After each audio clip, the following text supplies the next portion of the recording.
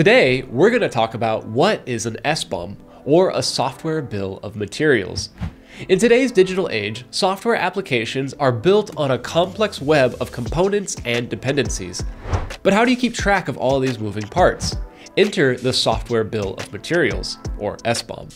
A software bill of materials is like a detailed inventory of all the components and dependencies that make up a software application. Let's explore why an SBOM is so essential and what it includes. First and foremost, an SBOM enhances transparency and improves security in software development and supply chain management. By documenting the origin, version, and licensing information of each component, developers, vendors, and users can have a clear understanding of the software's composition and potential vulnerabilities. An SBOM provides several advantages including enhanced security, improved risk management, compliance with licensing requirements, and efficient software supply chain management. Enhanced security is one of the key benefits of having an SBOM. By having a comprehensive inventory of all the components and dependencies used in a software application, organizations can identify potential security vulnerabilities and take prompt actions to address them. This visibility allows for prioritized patching and updates, reducing the risk of exploitation by malicious actors. Another benefit of an SBOM is improved risk management.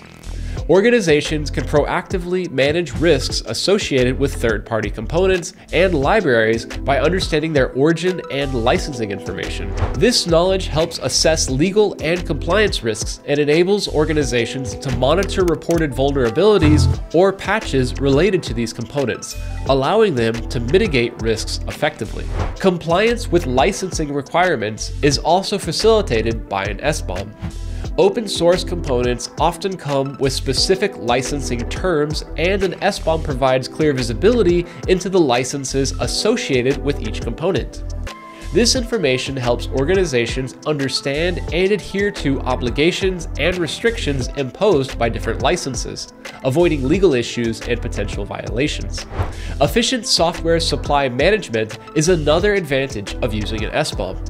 It allows organizations to track and manage dependencies between different components, making it easier to identify and resolve compatibility issues. Additionally, an SBOM promotes effective communication and collaboration between software vendors, developers, and end users, ensuring smooth integration and deployment of software applications. An SBOM also facilitates zero-day vulnerability responses. In the event of a reported vulnerability in a component, organizations can quickly identify if the vulnerable component is present in their software applications through the SBOM. This enables them to take immediate action, such as applying patches or finding alternative components to mitigate the risk. Timely response to vulnerabilities helps protect organizations and their customers from potential security breaches. An SBOM also promotes trust and transparency among stakeholders. Customers and end users can have confidence in the software that they are using, knowing that its composition is well documented and regularly updated. Similarly, vendors and developers can demonstrate their commitment to security and quality by sharing their SBOM with their customers, fostering trust and building stronger relationships. So what exactly does an SBOM include? An SBOM typically includes the name of each component, its version number, license information, dependencies, origin, vulnerabilities, and patch information. Developing an SBOM comes with its own set of challenges. Challenges include the lack of a standardized format, the dynamic nature of software development, the volume of software components, visibility into the supply chain, and lack of awareness and understanding. Despite these challenges, the benefits of having a software bill of materials far outweigh the hurdles.